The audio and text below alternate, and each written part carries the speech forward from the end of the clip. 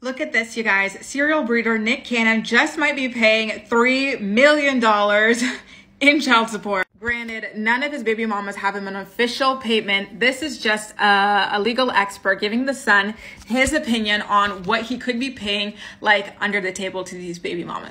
The lawyer says that Lanisha is probably getting 40000 a month, while Brittany Bell is getting 60000 a month. Brittany has brought her total up to 80000 a month with the latest baby. Abby De La Rosa, who just had her third kid with him, is gearing to make about $1 million in child support from him. Bre Tiesi has locked herself in at $40,000 a month. And of course, the lawyer had to take shots on his incubators for choosing this as a career option, which I thought was kind of funny. So when you add up all of these totals, it's about $3 million for the nine kids he has now. But don't forget, he's expecting two more kids. So this could be 4 million plus. Again, this is not an official thing. They don't have him on official child support.